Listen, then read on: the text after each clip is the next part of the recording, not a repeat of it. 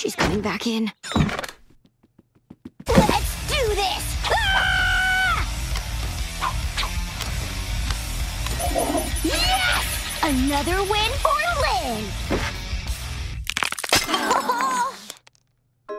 Guys, I don't know why I didn't think of this earlier. The Ace Savvy trivia game. There's no way she can beat me. Okay, guys. Whoever answers this last question right wins. What the heck?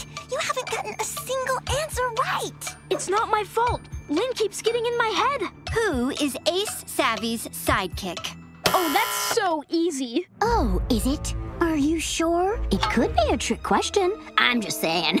Gam's riding on this. It'd sure be a shame if you choked.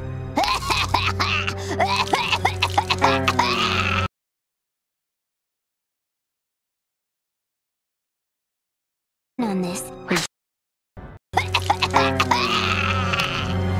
Massachusetts! Even I know this one. It's One-Eye Jack. Correct. Boom! I win! Better get out of here before I breathe in too many loser fumes. Sorry, guys, I totally choked. Boom! I win! Correct. Boom! I win! Better get out of here before I breathe in too many loser fumes. Sorry, guys, I totally choked. It's okay, Lincoln.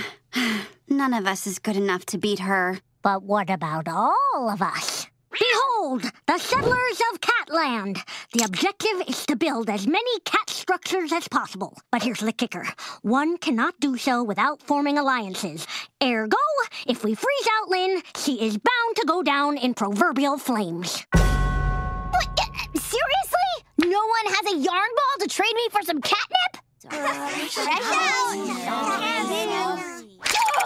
I can't build squat! This game bites it hard! Well, I see our time is up. We have a 10-way tie for first, with Lynn in a distant second. Count it again! Lynn, I do not make air.